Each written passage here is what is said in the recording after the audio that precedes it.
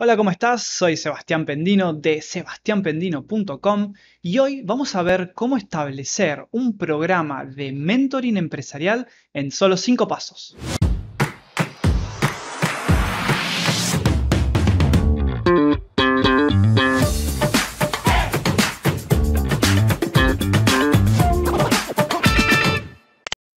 Una forma que hoy en día obtiene excelentes resultados a la hora de retener empleados es establecer un programa de mentoring empresarial que combine a los nuevos empleados con los más antiguos. Esta combinación y el traspaso de la cultura organizacional entre generaciones puede, digamos, pagar grandes dividendos a largo plazo, dando excelentes resultados en la empresa. Vamos a ver entonces cómo implementar un programa de mentoring en cinco pasos. Paso número uno, definir los objetivos y el propósito del mentoring. En primer lugar, los programas de tutorías en el lugar de trabajo necesitan un propósito real implícito que definirá los objetivos de este programa de mentoring. Pero veamos un ejemplo de propósitos implícitos. Mejorar, por ejemplo, el programa de retención de empleados. Generar líderes o enseñar una habilidad especializada. Otro ejemplo, usar el programa de mentorías para incorporar nuevos empleados. ¿Ok? Paso número 2. Determinar un proceso para formar parejas entre mentores y mentís, o sea, mentorizados.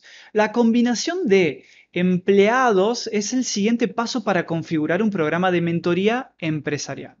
Lo que hace que este paso sea tan importante es que se necesita un gran esfuerzo por parte de la organización, de la empresa, para encontrar el par, la pareja ideal de mentor Debemos entonces cruzar información de habilidades técnicas, de gerencia, de intereses de crecimiento laboral, eh, tanto de los potenciales mentores como de los potenciales aprendices.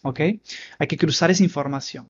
Paso número 3. Incluir capacitaciones formales. Estas mentorías, si son combinadas con capacitaciones tradicionales dentro de la empresa, suelen ser mucho más, digamos, efectivas para quien recibe esa mentoría y hasta en algunos casos para los mentores de empresas.